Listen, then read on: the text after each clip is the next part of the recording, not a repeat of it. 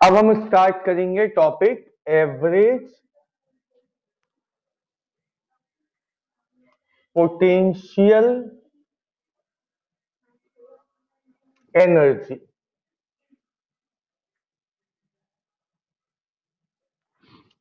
तो average kinetic energy वाले topic में आप कुछ चीज़ें सीख चुके हो। जैसे U का जनरल फॉर्मूला क्या होता है? Half M omega square Y square क्या डेरिवेशन में ये फॉर्मूला काम आएगा? नहीं. किसके टर्म्स में होना चाहिए? टाइम के टर्म्स में. तो y कैसे हटाते हैं? अभी भी आप लोग ऐसा लग रहा खा पी के नहीं आते हो। जब ऊपर आओ, नीचे बेटा गोलगप्पे खा लिया करो। कृपा आनी शुरू हो जाएगी। एक घंटे गोलगप्पे खाओगे, ऊपर नहीं आ पाओगे half M omega square A square sine square omega T Y की जगह जे आएगा, ये क्लियर है? नाउ बताइए। एवरेज का formula one by T integration zero से टी जिसका एवरेज निकालना वो इज़ इट ओके अब यू की वैल्यू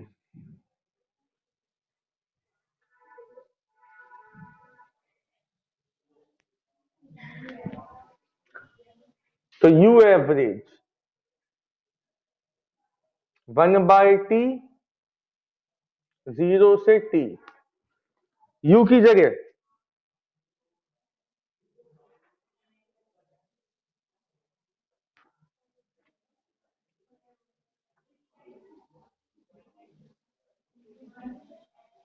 ठीक है?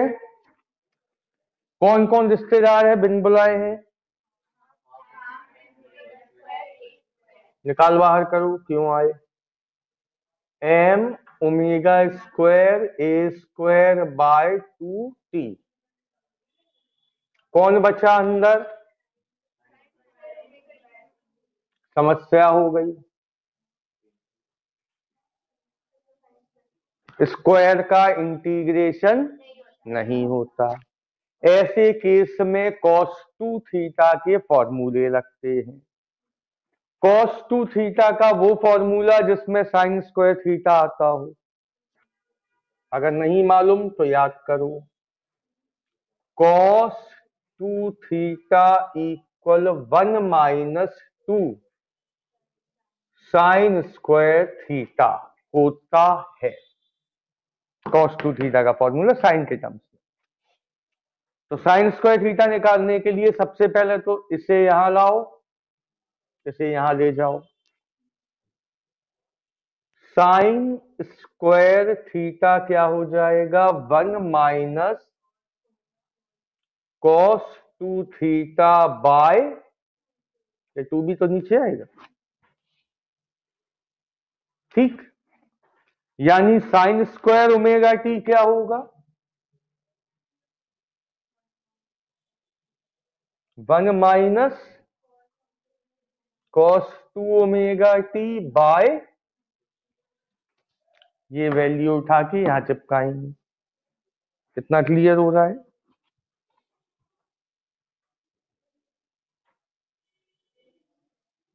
इसे नोट कर लिया?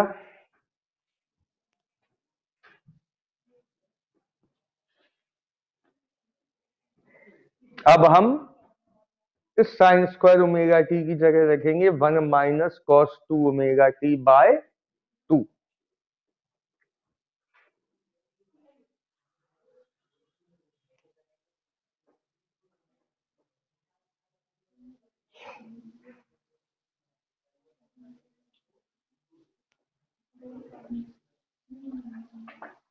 Thank you.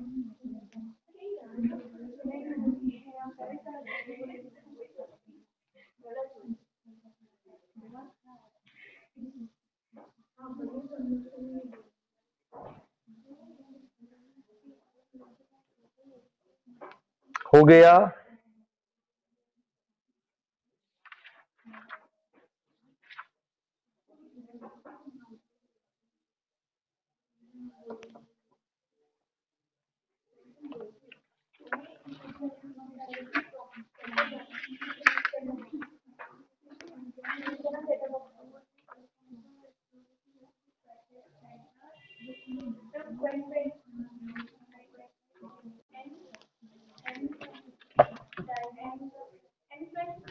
चलो, देखो अब।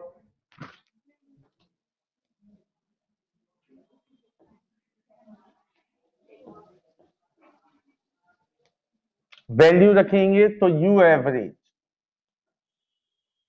equal M omega square A square by two T, integral zero से टी। इस पूरे साइन स्क्वायर ओमेगा टी की जगह क्या आएगा?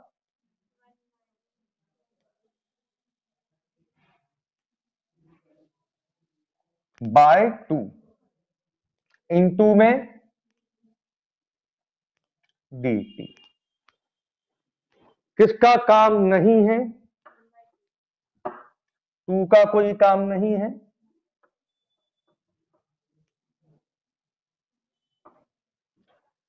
टू का काम नहीं है तो वो कहाँ चला जाएगा? बाहर।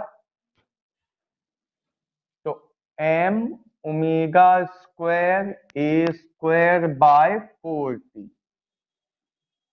अंदर बचा one minus cos two omega T by sorry into D T ठीक? अब एक बार वन के साथ, एक बार कॉस टू ओमेगा टी के साथ।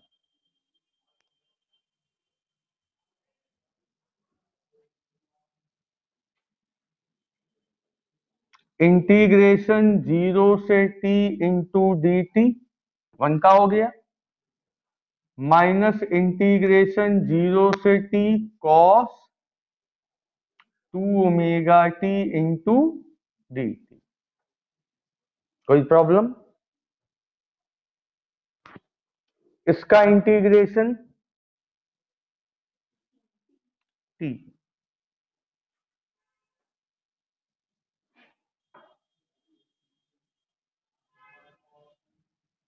लिमिट ज़ीरो से टी इसका अभी अभी पिछले डेरिवेशन में सीखा आपने। Sine two omega T by two omega ठीक है भाई? इस स्मॉल टी को कौन रिप्लेस करेगा? तो U average equal M omega square A square by four T बोलिए।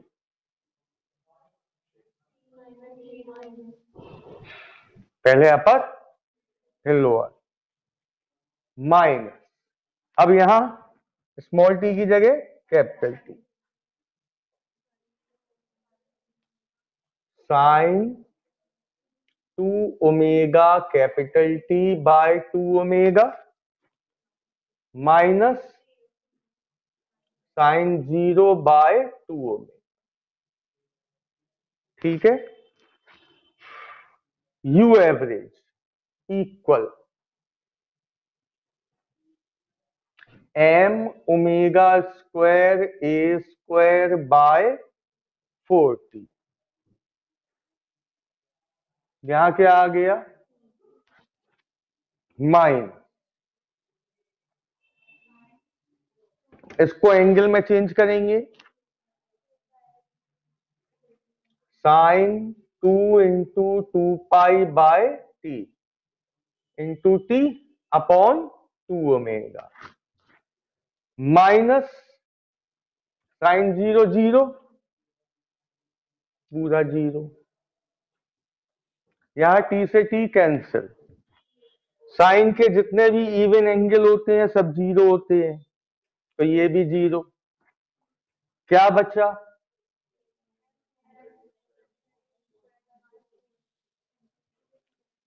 इनटू में क्या बचा? खाली टी। टी से टी। ठीक। तो कायदे से तो अपना आंसर क्या आ गया?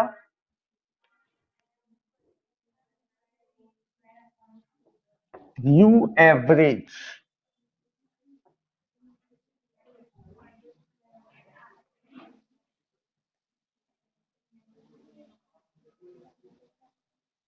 M omega square A square by four but कभी कभी क्या पूछ लिया जाता? कि show that average potential energy is half of total energy in asset तो ये कैसे प्रूव होगा कि potential energy average potential energy half है टोटल एनर्जी के। U average equal half M omega square A square by two कैसे लिख सकते हैं इसे? ये पूरा काय का फॉर्मूला है? टोटल एनर्जी का? तो यू एवरेज क्या हो जाएगा? हाफ़ ऑफ़ टोटल एनर्जी अगर इतना आता है तो ये काम और करना होगा। तो कुल मिला के एसएचएम में एवरेज काइनेटिक एनर्जी और एवरेज पोटेंशियल एनर्जी दोनों ही मोस्ट इंपॉर्टेंट डेरिवेशन है। ठीक है? कर लीजिए।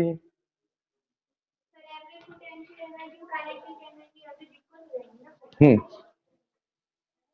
इस हिसाब से एवरेज पोटेंशियल एनर्जी और एवरेज काइनेटिक एनर्जी हमेशा इक्वल होती है।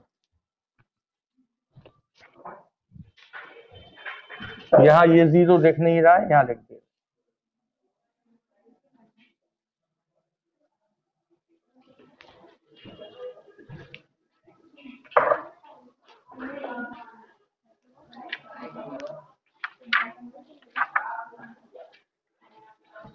हाँ बोलिए